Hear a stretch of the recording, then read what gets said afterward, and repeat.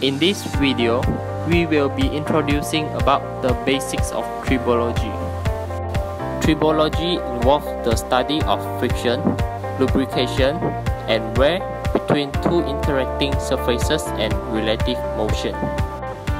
We experience this phenomena every day, such as brakes in automobile, cosmetics, and personal care products on our skin, and the consumption of food such as chocolate. The parameter that quantifies the friction between the surface is the coefficient of friction. It is defined by the ratio of the force opposing motion to the force pushing together which acts perpendicular to the motion. Over the past 50 years, tribology has greatly improved the motors and bearings that are vital in today's fast-moving world. Failure of just a single bearing could cause a plane to crash or a pump in a nuclear power station to stop working. Oil and grease are used to cut down the friction between moving parts. Without oil, your car engine would grind to a halt in seconds.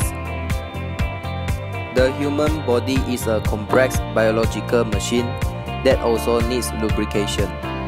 Knees, hips, and elbows suffer rough treatment over lifetime.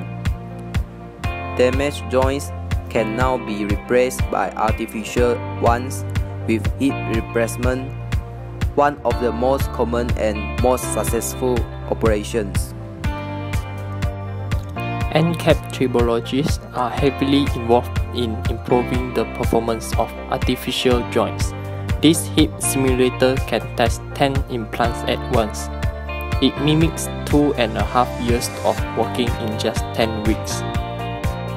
Water causes friction or drag on a body moving through it. The drag on a moving ship is enormous if the hull becomes full with seaweed, slime, or barnacles.